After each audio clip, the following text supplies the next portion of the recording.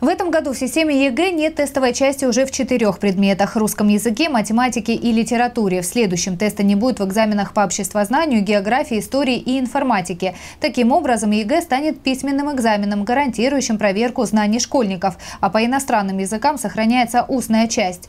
Так же, как и в прошлом году, выпускники могут выбрать уровень экзамена – базовый или профильный, и по-прежнему обязательными остаются русский язык и математика. 24 балла по русскому языку для получения аттестата аттестата, и сдача математики на базовом уровне гарантирует получение аттестата. Остальные предметы, минимальное количество баллов не увеличивается, и в зависимости от того или иного вуза школьник до 1 февраля должен определиться с предметами по выбору а, и а, написать заявление в школе для того, чтобы сдать единый государственный экзамен. ЕГЭ было введено в 2008 году. За это время некоторые технологические элементы в региональных центрах обработки информации уже устарели, поэтому сейчас проводится их мониторинг по соответствию современным условиям.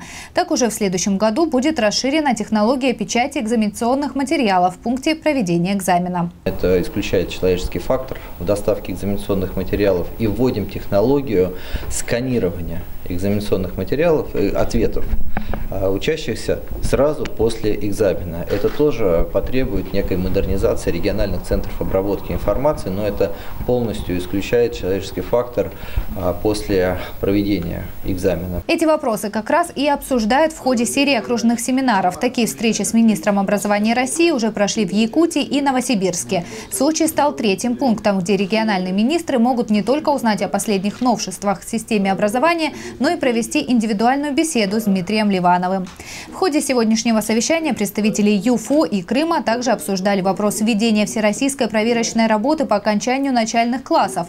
В следующем году такие контрольные, разработанные на федеральном уровне, будут добровольными, а через год эта система войдет в штатный режим. Кроме того, участники анализируют результаты осенней волны ЕГЭ и принимают решение о целесообразности проведения экзамена в этот срок. Следующий семинар состоится в Уральском федеральном округе завершится серия таких встреч в конце года. Татьяна Говоркова, Демид Даниловский, телекомпания «ФКТ».